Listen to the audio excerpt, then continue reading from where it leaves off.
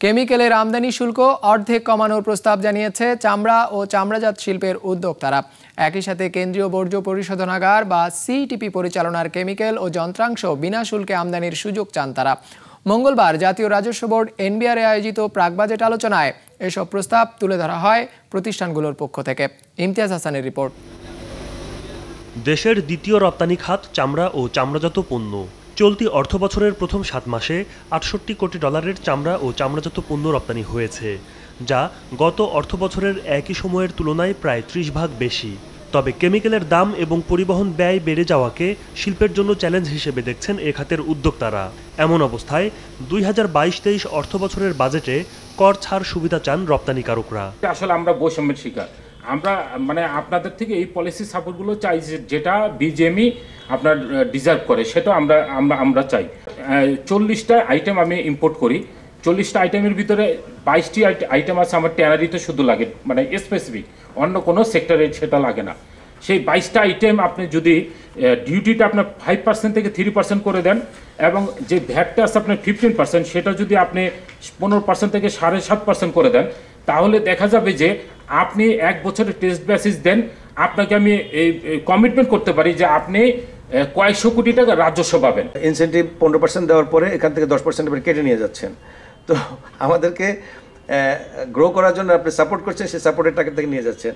তো দশ পার্সেন্ট আমার মনে হয় একটু বেশি, আপনারা আগে নিতেন তিন পার্সেন্ট সেটাতে যদি বিবেচনা করেন, আমরা এই কোভিড পরবর্তী সময় উত্তরণের জন্য এটা বড় ধরনের সাপোর্ট করবে। আমাদেরকে রপ্তানিমুখী শিল্প প্রতিষ্ঠানকে ভ্যাট, ভ্যাটের, ভ্যাট থেকে, ভ্যাটের নিয়ন্ত্রণ মনিটরিং বা কন্ট্রোলিং থেকে আমাদের নিয়ন্ত্রণ থেকে মুক্ত রাখা হোক, এই প্রস্তাব, এই প্রস্তাবটা দিচ্ছি।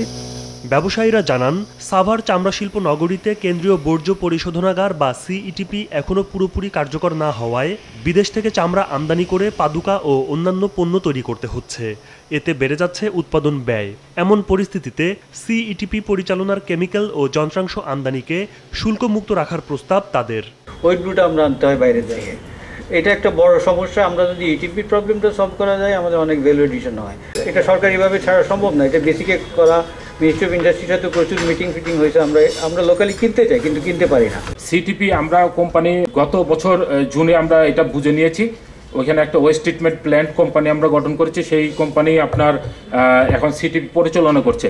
তো সিটিপি পরিচালনা করতে গিয়ে আমাদের এখানে সিটিপির মানে খুচরো যন্ত্রপাতি দরকার হয় এবং পাশাপাশি আমার যে কেমিক্যালস সেটা আমি যে কেমিক্যালসগুলো ব্যবহার করি বিশেষত চারটি কেমিক্যালস ইম্পোর্ট করে আনতে হয় এটা অধিক মূল্যে এইটাকে আমরা শুল্ক ছাড়ের সুবিধা চাচ্ছি।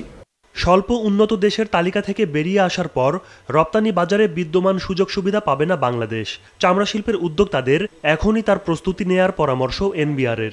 ইম্পোর্ট ব্যারিয়ার তৈরির জায়গাটা এটা কিন্তু আমাদের সামনের দিকে আরও স্কুইজ হয়ে আসবে। আপনাদেরকে বেরো আসতে পারেন থেকে আপনাদেরকে নিজেদেরকে প্রোডাকশন কস্ট কমায় এবং অন্যান্যভাবে কম্পিটিটিভ হতে হবে কারণ আমরা ডেভেলপিং কান্ট্রি ডেভেলপ কান্ট্রি যাব গ্র্যাজুয়েশন হতে থাকবে যত আমাদের স্টেপ বাই স্টেপ গ্র্যাজুয়েশন হবে তত আমাদের এই ইম্পোর্টের উপরের ব্যারিয়ারের ব্যারিয়ারটা উইথড্র করার বাধ্যবাধকতার মধ্যে পড়ে যাবে ইন্টারন্যাশনাল কাস্টমস রুলস অনুযায়ী।